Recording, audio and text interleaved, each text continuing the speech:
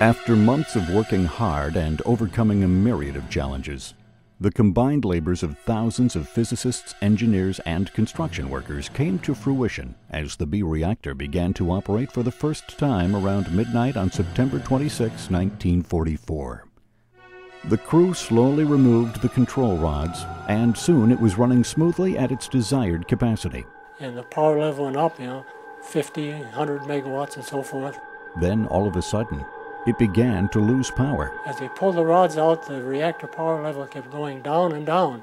They had all the rods pulled out, and the reactor was still uh, non functioning, zero power level. By Wednesday evening, it had completely shut down.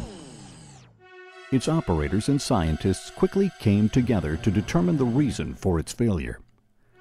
By the time it completely ceased functioning, the search was on for a solution. The thing would rise to power like that.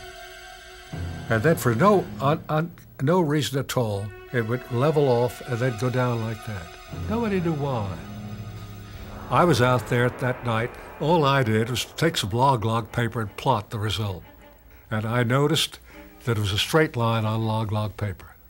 It had to be a radioactive decay.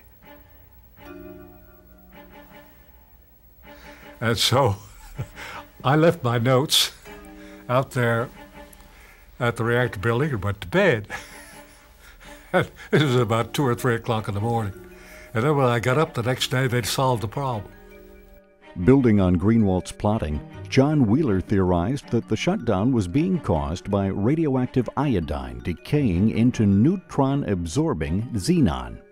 Armed with more detailed reactivity data, Fermi calculated that it was in fact xenon causing the problem but that its influence could be overcome by increasing radioactivity inside the reactor. But where would this extra reactivity come from?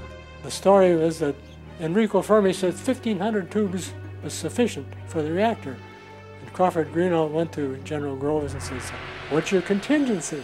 He says, Fermi says 1,500 would be 1,500. And uh, Greenewalt said, uh, You know, uh, if something went wrong with this plant, uh, who do you think would get the blame? And, you know, the old general is a pretty sharp guy. He says, how many more tubes do you want? He says, 500. So they put in 500 tubes. And without that, the reactor probably wouldn't even operate. So it's a fantastic thing. The DuPont engineer most responsible for ensuring that Greenewalt pushed for the extra tubes was a man named George Graves. Amused at his insistence that it was better to be safe than sorry, his peers composed a short, soon to be prophetic poem about his resolve. It went We'd called up a tight design, hewn strictly to the long hair's line. To us it looked almighty fine, a honey we'd insist. But old Marse George with baleful glare, and with a roar that shook the air, cried, Damn it, give it stuff to spare, the long hairs may have missed. And they had. Thankfully for the project, George Graves had not. Well, that was the thing that saved us. That extra reactivity was just exactly what we needed to overcome the xenon effect. the 500 additional tubes were loaded and the reactor restarted.